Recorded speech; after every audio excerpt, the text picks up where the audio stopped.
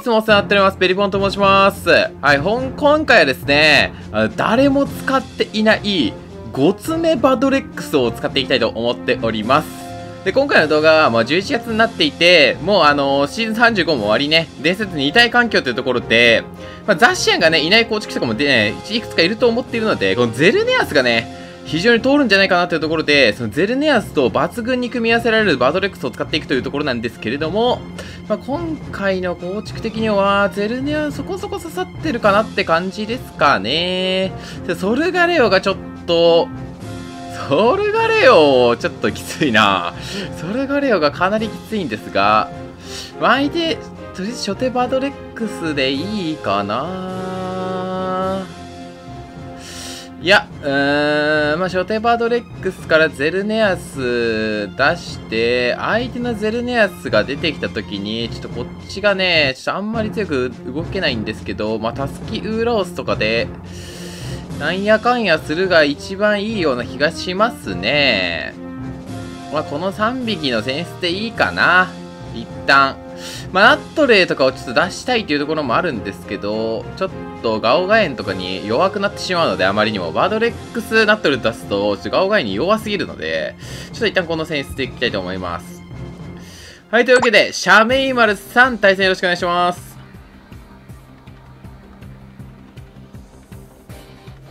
さて、相手の初手は、ちょっとガオガエンだとちょっと嫌なんだけど、ソルガレオ、ソルガレオから初手来るってこと、ちょっとこれは一応出しがちかな？はい、ちょっとここは、そうだね。まあ、一旦、えっ、ー、と、相手が、このバードレックスよりも上を取れるポケモンが基本的にいなかったので、まあ、スカーフが、えっ、ー、と、ガブとかだったらちょっと抜かれちゃうっぽいんですけど、まあ、一旦ね、上取られないと思うんで、ここは一旦安定でアストラルビットでいいかなと思ってはいますが、何してくんのこれ？挑発ちょっと入れたい感はあるんだけどな変に電磁波とかされるとちょっとめんどくさくて。まあ、とはいえ、まあ、ここはね、まあ、安定して、多分ね、多分あのー、ガオガエンとかに引いてくるんじゃないかなと思っているんで、やっぱガオガエンが出てくる。まあ、ガオガエンはね、あの、伝説幻環境ではいなかったんですけど、まあ、バドレックスを安定して受けられるポケモンとして、まあね、有名なところなんで、まあ、ここはしゃあないかなというところですね。じゃ、ここは多分 DD ラリアット売ってくると思うんで、まあ、DD ラリアットか捨て台詞、もしか、えー、っと、まあ、トンボ帰りとかそこら辺かなって感じはするんですけど、うん、ここ一旦ウーラウスに下げましょうかね。まあ、ステルゼリフを食らったとしても、こっちは水流連打がね、そんなに、あの、効かないところで、あの、じゃあ、あの、水流連打ね。あー、それ一番だるいな。それは一番だるいことをされてしまって、ウーラウスが腐ってしまう。うーん、ちょっとめんどくさいですね。うん、ここ相手は多分ソルガレオバックが結構安定しちゃってるんですけど、こっち挑発持ってるんで、ソルガレオの積みの危険にはならないというところで、まあ、ここはね、水流連打打っていきましょうか。一旦ガオガエン削っていきたいんで、あ、まあまあガオガエン引く。ガブリアス、サメ肌にちょっと触れさせに来たね。まあ、ガブリアスだったら、それこそ、えっ、と、こっちのね、あのーゼルネアスの起点には多分できると思うんで、勝てない相変わらずガブリアスって。君相変わらず硬いね。うーんと、ただガブリアスこれちょっとどうなんだ？耐久には振ってないのか。耐久には振ってない可能性があるんですけど、相手がステルスロックを巻いてくるとかだった場合に、うーん、まあエースでちょっとこっちは上取られちゃってるんで、まあどうしようもないかな、ここは。うん、インファイトで突っ込むのはありだけど、まあカウンター、まあ一発ガブの、エースのガブだったら自信耐えるのかな？ちょっとダメ消しよう。あー、いや、さすがに落ちるな超、超低乱数じゃないと落ちちゃうんで、ここはインファイトで切りますか。自信。わあこれだったらカウンターでよかったね。これだったらカウンターでよかった。めちゃくちゃ低ランスを引く。まあ、サメ肌で切れ削れるでしょいやー、これカウンターでよかったかなまあ、しゃあないね。ただ、まあ、ここは、バドレックスで、起点にできそうな感じはしてるんだけど、ガオガエンが結局出てくると変わらないので、ここはゼルネアス出しましょうか。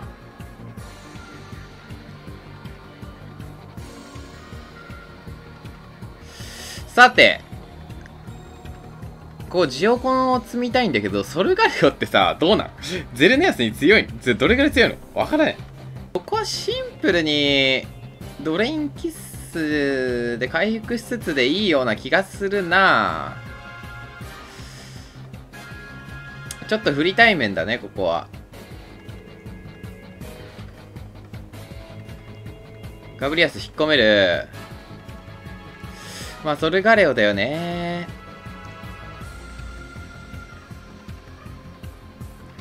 そうなってくると、あー、でもちょっと柔らかいな。ちょっと柔らかいですね、相手。ってこと考えたときに、相手多分ここは普通にメタルドライブってくると思うんですけど、ここで、ここで あの、5つ目バードレックスが効いてくるんですよね。ここはね、相手壁張って、相手全員物理なんで、リフレクター張ってで、いいような気がするな。まあ、竜舞積んでくると思うんですけど、ここはどうだ？大サンダーとか警戒したら大魔切ってくる可能性もあるんだけど、メテオドライブ、これはね、削ら、削らしてくれる分には良くて、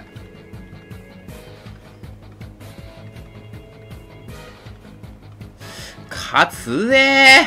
めちゃくちゃ火力あんな、おい。で、弾か。はいはいはいはいはい。なるほど。だったら、ここは、うー、まあ、ガオガエンバックを読んでっていうのもありなんですけど、ちょっとここね、普通に、そのままメテオドライブで突っ込まれた時が、普通に出しま、あの、負けんなに繋がってしまうんで、まあ、今のダメージ的にリフレクター貼るのが一番悪いかな。オッケーオッケーオッケー。じゃあ、ここはガオガエンが出てきたんで、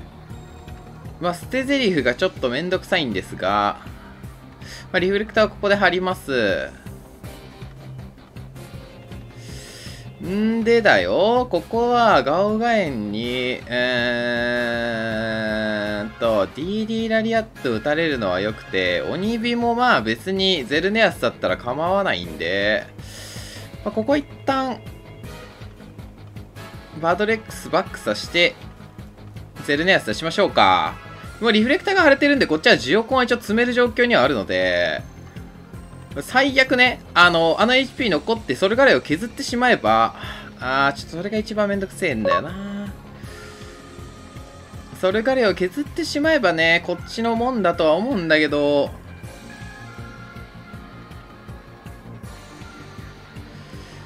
うーん、そうだな。ここ、バドレックスにもう一回引きましょうか。もう一回引いても多分リフレクターがあるんで、一発は耐えるから、で、リフレクターのターンが、あと3ターンあるでしょ？だから、バドレックス出す。で、えー、っと、もう一回アストラルビットを打つ。で、ガオガエン出てくる。でもまあ、まだ余裕あるかな。相手ここ大魔切ってきたら、まあ、こっちはこっちで、えっと、ジオコンを積むので、それはいいかな。あ、大魔切ってくる。これ大シルかな？多分、切ってくるのは大シルだと思うんですけど。いやー、しかしちょっとなこの、ソルガレオ重たいね、この構築。まあ、だとしたら、まあ、こっちは、まあ、ガオガエンとか出せばよかったんですけど、まあ、ここはね、選出演出かなとはちょっと思ってはいるんだが、しゃあない。ダイアースで特報を上げてくる。ただこれは一回耐えるでしょまあ、に、一応ね、ここは削っておいて、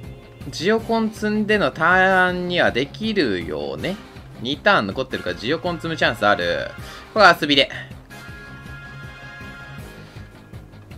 オッケー、いいダメージ。めちゃくちゃいいダメージ入るね。ここまでやってしまえば、ダイアース、ダイアースでしょで、次、ダイスシルも全然耐えられるので、大師耐えられるよな。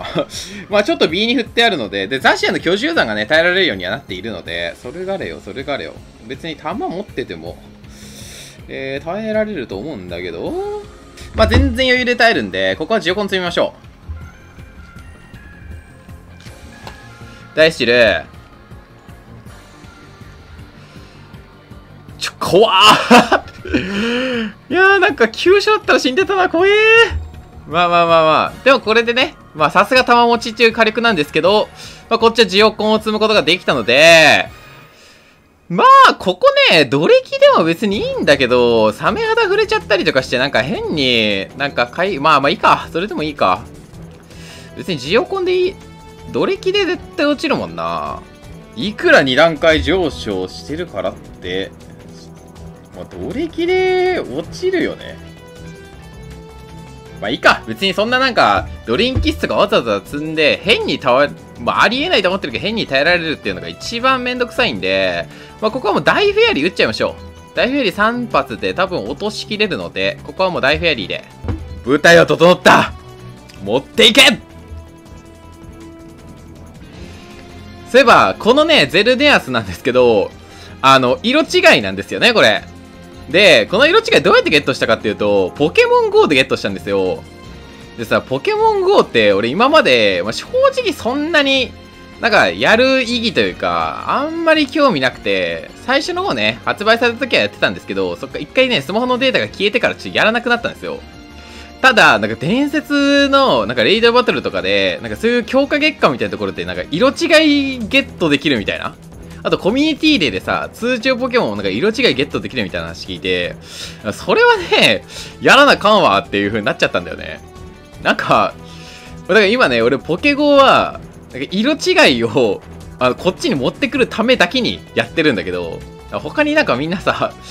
ポケモン GO、こういうのが、なんかすごくいいですよとか、なんだろう、本来のポケモン GO の楽しみ方以外で、なんかこっちの剣立てとか、スイッチ版のゲームになんかさ、寄与できる何かしらいい機能とかあったら教えてほしいです。そんなないと思うけどね。ちなみにメルメタルは 結局集めきれなかった。伝説の時に。ガブリアス、まあ、しれっとね、このおしゃべり中にね、あの、ゼルネアスで2体突破していくんですけど、まあ、ここもね、あの、バドレックスとゼルネアスが、まあ、非常にね、あの、コンビネーションとしていいっていうところで、まあ、非常に相性がいいから、まあ、このゼルネアスが通すことができると。で、今回は5つ目で、えっ、ー、と、ソルガレオの、えっ、ー、と、HP を削ることができたというところで、まあ、安定してね、大アースで2回積んだ状態でも安定して殴ることができるというところで、皆さん対戦ありがとうございました。で、今回のね、このクロバドレックスの、えゼルネアスのね、コンビ、あの、非常に強い動きなんで、もしよろしければ皆さん試してみてください。はい、というわけで、今回の動画も以上となります。では、お先に失礼します。バイビーおやすー。